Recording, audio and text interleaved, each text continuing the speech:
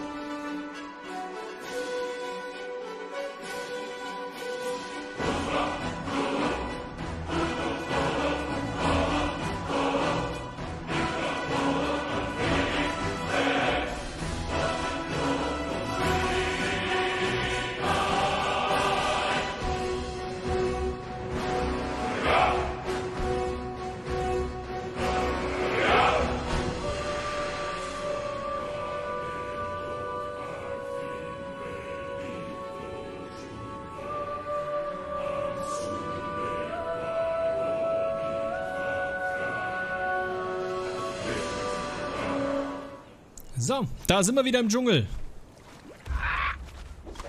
Würde ich sagen, legen wir los, oder? Soll ja nicht langweilig werden. Crew-Eyed. Hau drauf.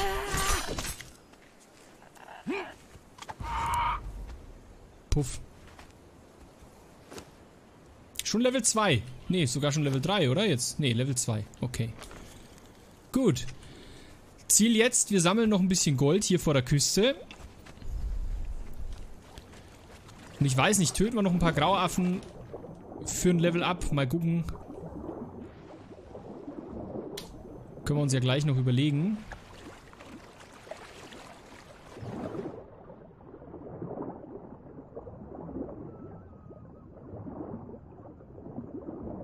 Aber jetzt möchte ich erstmal Gold sammeln und dann würde ich mir eigentlich sehr, sehr gerne Steinnasen kaufen. So, da ist ein Wrack.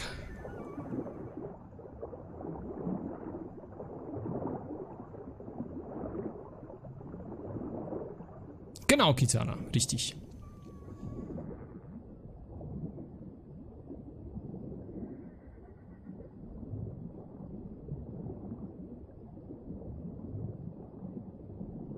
Nochmal kurz hoch. Warum habe ich eigentlich nicht meine Atemtränke mitgenommen? Ich hätte sogar welche gehabt, glaube ich.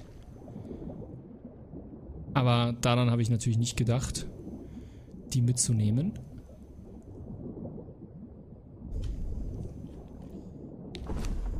Oh ja, sehr schön. Und ein bisschen... Ah, das ist die Mystical Plant. Ja, das lohnt sich ja doppelt. Wahnsinn, ich weiß nicht mehr, für was wir Mystical Plant brauchen. Wir, aber wir brauchen sie für irgendwas. Die ist für irgendwas gut. Ich weiß nicht mehr für was. War das nicht... War das nicht sogar für die Felgath-Rüstung? Ich bin mir nicht mehr sicher. Für ganz viel, ja. Für ganz viel. Und ich weiß noch, ich weiß noch, ich kann mich noch an den Tag erinnern, es war ein, ein sonniger Tag. Die Vögel zwitscherten. Ich fühlte mich gut an diesem Tag. Und dann kam es, es kam ein Rezept zum Vorschein, das diese Mystical Plants benötigte. Und ab dem Zeitpunkt ging es mir schlecht. Weiß ich noch ganz genau. Als wäre es gestern gewesen. Vielleicht war es auch gestern und ich kann mich nur nicht mehr dran erinnern, weil ich schon so alt bin.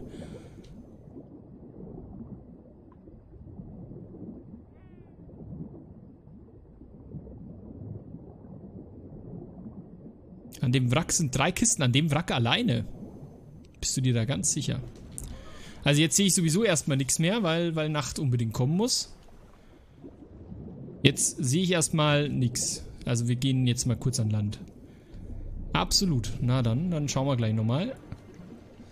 Also ich kann mich erinnern, dass hier drei Kisten insgesamt sind, aber ich würde dieses Wrack schon nochmal untersuchen, sobald der Tag wieder unter uns weilt und die liebe Sonne uns hold ist. Hinter Seegras und zwischen zwei Holzbalken. Das ist aber fies versteckt hinter Seegras. Schweine.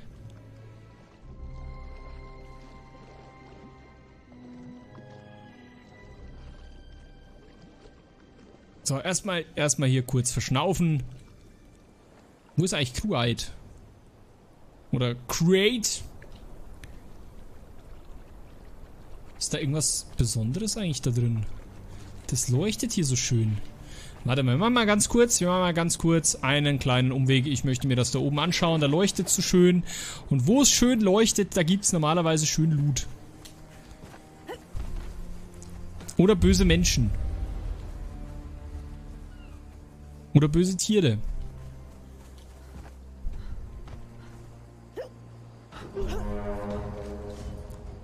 Zum Beispiel den da. Diesen netten Kollegen von der Affenzunft.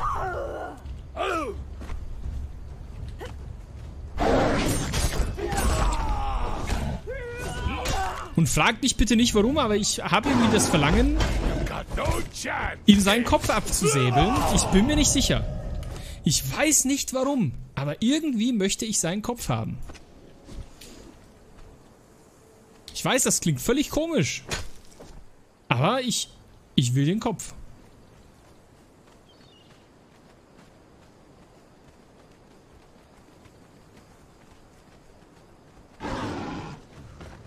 Seltsamerweise, den Kopf von dem hier will ich nicht mehr. Das kann ich euch sagen. Der interessiert mich jetzt nicht mehr. Jetzt habe ich nämlich meinen Kopf.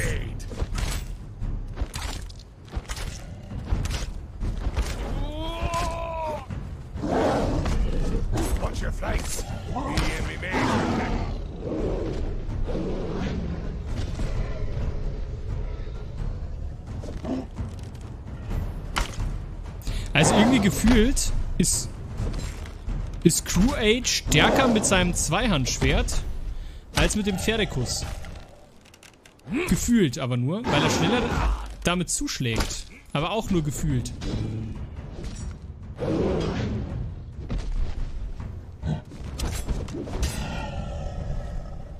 Alles nur gefühlt.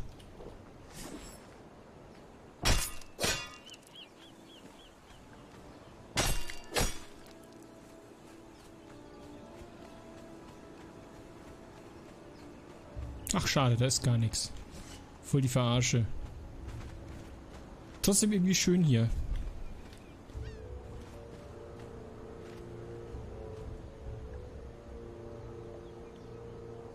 Sieht aus wie diese, diese, diese trimagische Feuerschale aus Harry Potter. Ich werf gleich meinen Namen rein, du. Mal gucken, was, was passiert. Sterbe ich, wenn ich da hochkraxel? Will ich es testen? Will ich es testen, ob ich da drin sterbe? Great. Hüpf doch mal rein. Komm. Hier, da oben. Kraxeln. Boah, ich will, ich will jetzt nicht... Warte mal.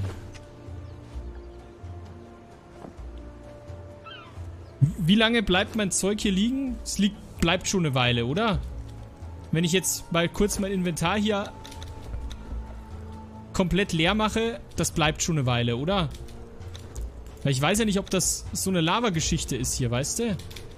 Oh, wir hatten die, die Sichel die ganze Zeit dabei. Ich habe sie nur nicht gesehen. Siehst du, ich bin alt.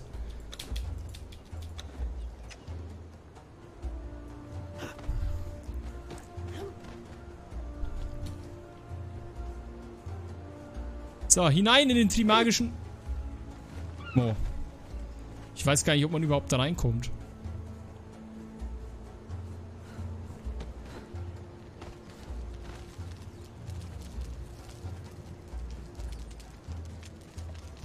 Oh yeah, neues Instagram-Foto.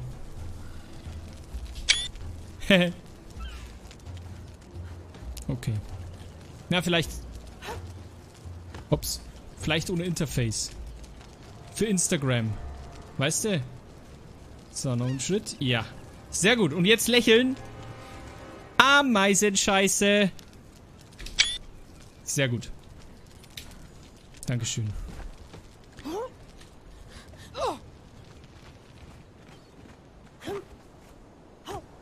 Interface wieder an und mitnehmen. Gott sei Dank ist nichts passiert, aber Safety first.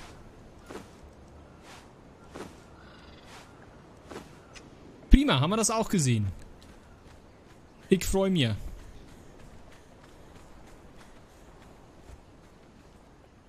Köpper.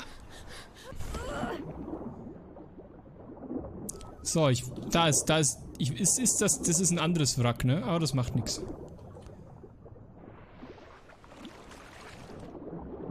Ich sag mal, wir würden 50 Gold reichen. 50 Goldmünzen, versteht sich. Weil alchemistische Grundsubstanz haben wir genug. Und Mystical Plant natürlich, die würde ich gerne in rauen Mengen mitnehmen. Nach Möglichkeit. So.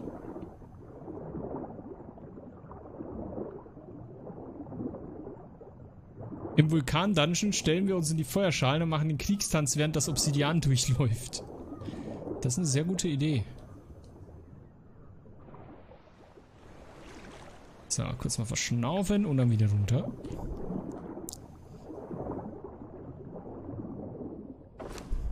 Ach Gott. Natürlich kommt nur Silber raus. Wie soll es auch anders sein? Ach du Scheiße. Das auch noch. Na gut. Crew 8, wir müssen heim. Die Pflicht ruft. Wir werden zu Hause verlangt.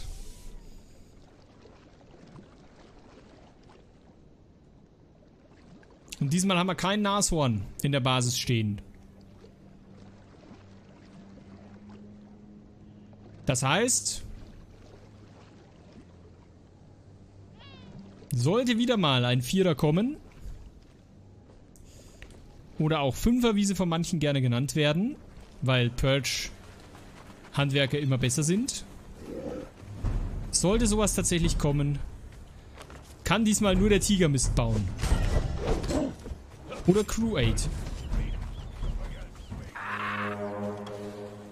Gut, dann laufen wir heim. Ja, ich sage ja, der Tiger kann Mist bauen. Tut er hoffentlich nicht. Die zweite Purge. Wunderbar. Ach, da freue ich mich jetzt schon drauf. Guten Tag. Ehrt den Herrn der Flamme. Jawoll. Held der Flamme, du bist klasse.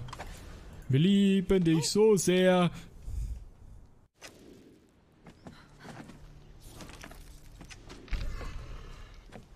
Herr der Flamme, du bist spitze. Du bist mein Kuschelbär. Au.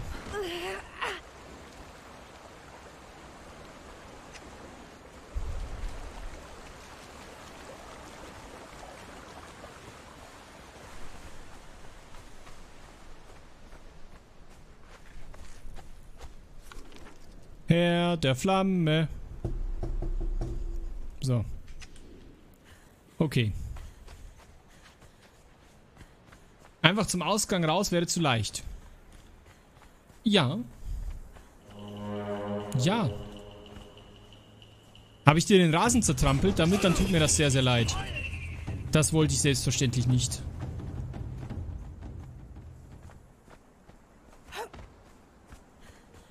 Das war keine Absicht. Was ist das hier eigentlich hier oben?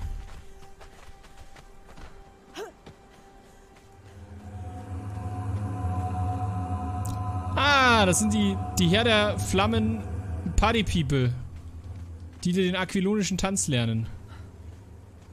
Okay, ja, äh.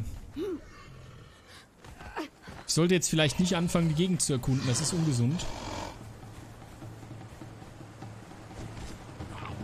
In der Schule geht er bestimmt durchs Fenster. Natürlich. Klar. Aber, aber jetzt nicht, nicht durch die geöffneten, denn das ist ja langweilig. Durch die geschlossenen. Mit so einem tollen Hechtsprung springe ich ins Klassenzimmer und ich kann euch sagen, wenn du das machst, du hast die Aufmerksamkeit aller.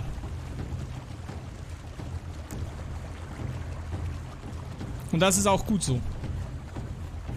Ein dramatischer Auftritt gehört dazu.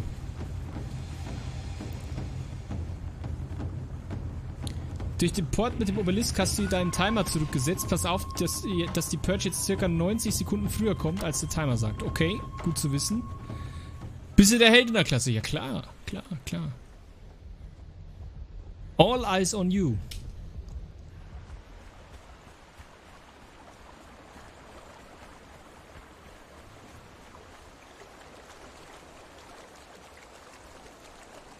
Also ich mache da immer so eine kleine Show draus, wenn ich am Morgen ins Klassenzimmer komme.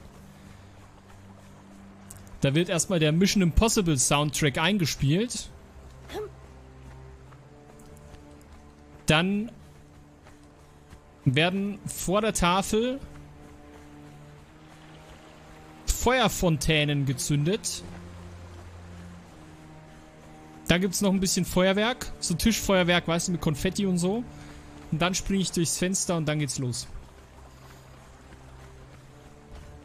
Hätte mein Lehrer sowas gemacht, hätte ich ihn auch gefeiert.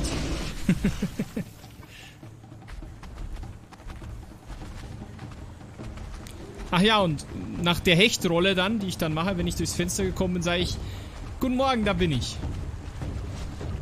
Und dann freuen sich alle, dass ich da bin und so. Und dass der Unterricht endlich beginnen kann. Moin Drescher.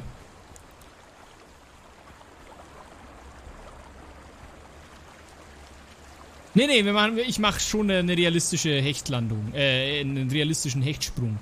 Weißt du, so schön, so schön reinrollen dann.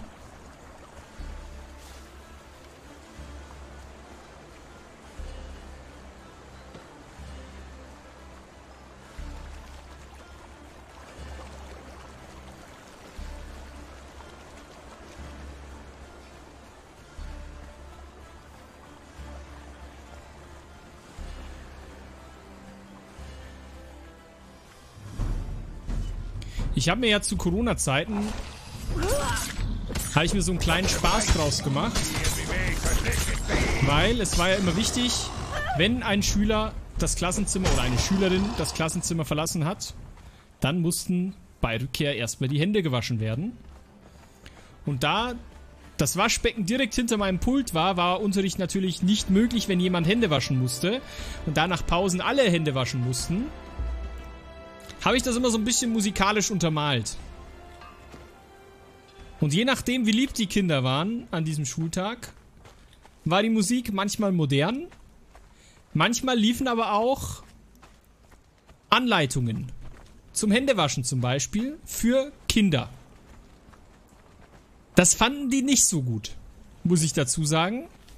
Manchmal habe ich aber auch über, über Lieder die Anatomie des Menschen erklären lassen, dann während des Händewaschens fanden die auch nicht so gut. Also ich kann euch sagen, die sind jetzt sehr verstört, die Kinder, wenn sie ähm, das geht von Kopf bis Fuß, von Kopf bis Fuß und eine Hand zum Gruß und dann die, äh, irgendwie so das Lied, ne? Vielleicht kennt ihr das, ja? Finden die nicht so gut, das Lied.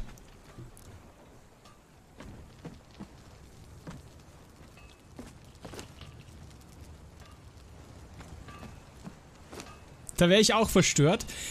Zu Recht, aber ich fand das sehr lustig, ehrlich gesagt.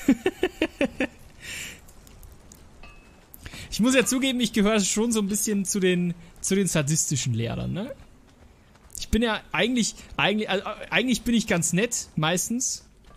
Aber ich bin auch echt sadistisch und wenn ich Bock habe, Kinder zu ärgern, dann ärgere ich sie auch.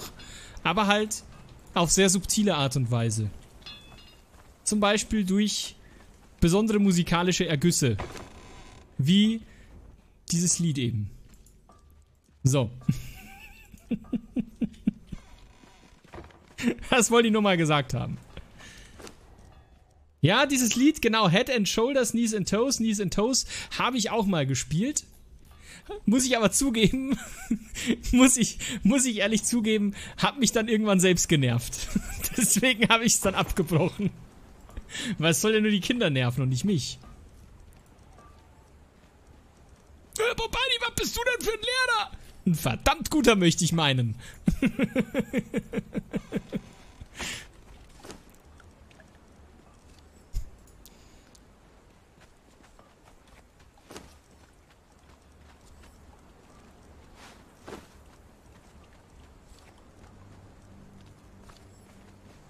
Fünfte Klasse Englisch ein Trauma. also ich, ich hatte letztes Schuljahr eine fünfte in Englisch. Und die wollten schon immer singen. Die fanden Singen toll. Naja. Gut, dann warten wir mal, oder?